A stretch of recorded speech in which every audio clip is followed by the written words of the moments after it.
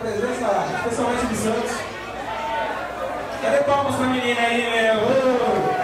Quem não sabe, né? O Léo tem que levar uma